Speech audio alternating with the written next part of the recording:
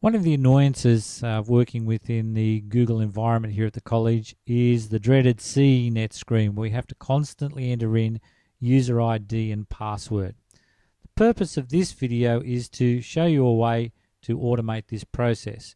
So first of all we go into settings using any of the methods we saw in the last video and we go to extensions then click on browse the gallery and this takes us into the Google Extensions gallery. And we're going to type in here, we want to select uh, one called Autofill.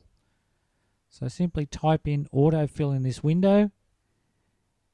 And up comes Autofill here by Tohodo.com.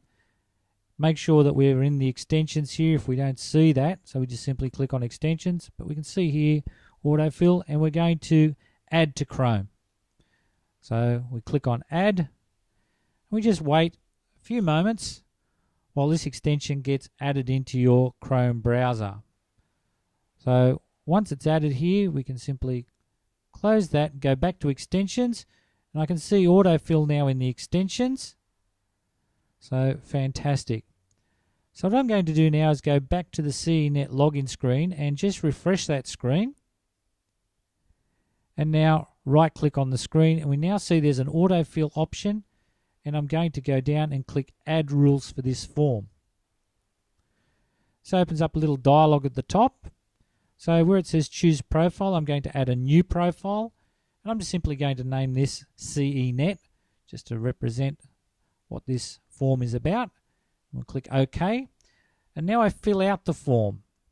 So I put in the details like my login name and then my password but do not press enter at this stage. Make sure the correct diocese is selected also. Now go back up to the top there and click on create autofill rules.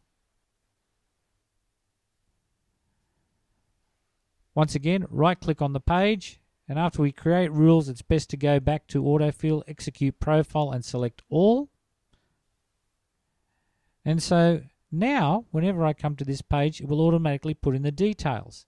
So if I quit Chrome and start again, and uh, let's go to google.com, which will trigger the CENET login screen.